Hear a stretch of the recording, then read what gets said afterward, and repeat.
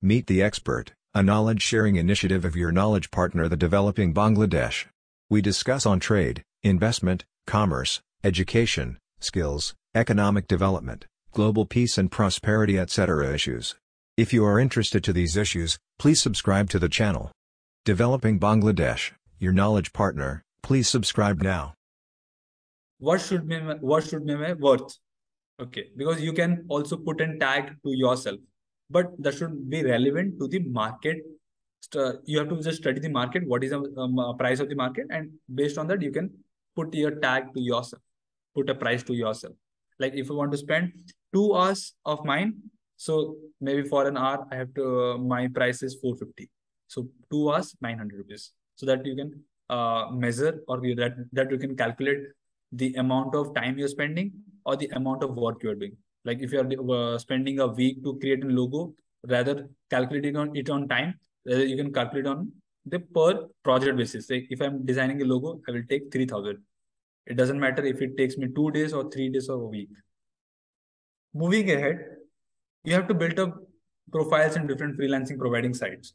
In the later slides, I have got a slide where uh, I have discussed about what could be the potential freelancing providing uh, freelancing sites where you can build up your profiles. And that can help you to look out for freelance projects or multiple projects you can look out through these freelancing sites, which can be uh, like which can help you to figure out key uh, and also this reduces a burden. This also reduces a burden to look out for projects. Okay, so these sites can help you to gather and get connected with a lot of clients, domestic and international clients, and you can easily get your uh, projects. Fourth thing, which is also an important thing, you have to start building a network through communities and forums. Okay, so in freelancing, every day is a new forum. Every day is new for you because every day you have to start a start looking for a project okay as you're not bounded as you're not bound by any company or you're not bound for a single project you are connected with you have to start connect with a lot of people because that have you have to create a source or you have to create a pipeline of projects for yourself so that you can feed for the every year uh, like for the every month you can feed yourself so for that you have to continuously look for projects you have to continuously look for projects continuously work on the projects and continuously deliver the projects on time and in the best way so you have to continuously look for the projects. So for looking for the projects, you have to build up a enough pipeline and source of pipeline where maybe you can build up a good network and you can ask people to refer if they like these services. If like if I am your client and I liked your logo, and you can ask me to refer to my other friends to my other network. Ki, yeah, there is someone like uh, XYZ who has a good command over and who has a good logo designing skills. And he can help you for creating a logo for designing a logo. So you can ask for referral. So this communities and network forums help you to build up the network and publicize your skills or market your skills the fifth one as i mentioned making strong offline and online presence to receive projects. Offline how you can make maybe you can be a part of an community offline community. Maybe you can join up a uh, like a club okay where you can talk about your services and you can gain the sympathy and the what i can say you can gain the trust of the club members or the community members.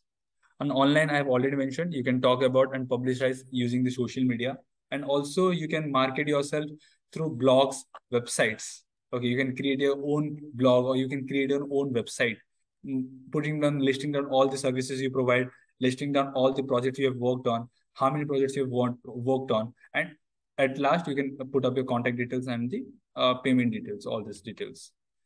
Moving ahead with the thing, so what was what could be the communities to join?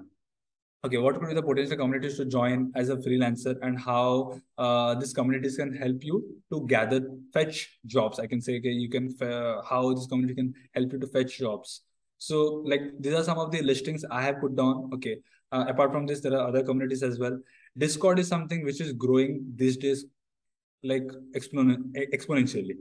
Okay. So Discord, like there are a lot of uh, Discord chart, Discord chart groups and channels. Okay. And you can join these channels. You can talk about yourself. You can say, ki, I am proficient in this particular skill. And if you want to uh, like like if you want me to offer my services to you you can re- reach me anytime you can ask me anytime so discord is something where you can uh, create a channel okay uh, also reddit is uh, coming up. So reddit is something where people post their requirements. Sometimes people post their requirements. Sometimes also there are different sub charts there are different subgroups in reddit so you can part of it. Freelancers union is an important community for the freelancers. So this is a unique community exclusive for the freelancers. So make sure you also join this. Linkedin. So like me talking uh, shedding some light on my life uh, so linkedin has been an influential community and influential social media or a channel i can say for me. Because i have got most of the projects from linkedin. Okay so my collaboration is basically with b2b brands business to business brands. The brand the businesses which have b2b products or b2b product selling. So these companies i can easily find it on linkedin okay. And whenever i see ki they have a request they have a what i can say need or they have a requirement for a freelancer or a freelance marketer i step up or i share my details with them and then we take it forward. Even linkedin has this opportunity where people like you can search hashtag freelancers hashtag need of a freelancer so you can search these details and you can find it from content where people have already put down their freelance requirements and you can apply for it. Slack. Slack is a basically uh, another basically talk channel, okay, or a, a video channel, you can say. Uh, is another networking platform. Twitter. So Twitter is also an important uh, social media I can share, okay, because a lot of people use the hashtags where they mention need an freelancer or hashtag graphic designer. So basically, they share their requirements, they share their need updates, urgent need updates on Twitter. Facebook, as we know, okay, there's like something uh, people post their needs and requirements through posters, through content. So Facebook is also an important channel. Clubhouse has recently grown. Okay, so Clubhouse is an audio channel where there are a lot of groups and there are a lot of uh, events happening in Clubhouse where they do the job of matchmaking of freelancers and the requirement from company or the firm. So they do basically do the matchmaking. So you can join Clubhouse and be part of this particular sessions like job bulletin. Basically, you can look for uh, projects from this different audio channels and the audio chat groups. So this is all about the communities. Apart from this, if you have something, if you feel like I can have a strong presence on this particular community, go ahead with that. So moving ahead with freelancing sites. So what can be the free what what are the freelancing particular and popular freelancing websites where you should have your like where you should build up a profile. Okay, most of these freelancing websites talking about the freelancing sites so basically these are the freelancing sites as i earlier mentioned. So if you want to uh the free these freelancing sites help you to basically get projects. Okay so how this operates basically they like if you if uh, as i mentioned in earlier example a real estate broker. A real estate broker is basically charges in commission uh, where you list up in property for the landlord and uh, the uh, basically the landlord gets a tenant and the real estate broker helps you to match this landlord and the tenant. The same thing happened with the freelancing sites. They help the freelancers to match with clients. Clients looking for requirements of different projects match with the freelancers. And in between, they charge and commission for each project. Okay. So there are some of the popular freelancing sites uh, which I have uh, which I've listed on.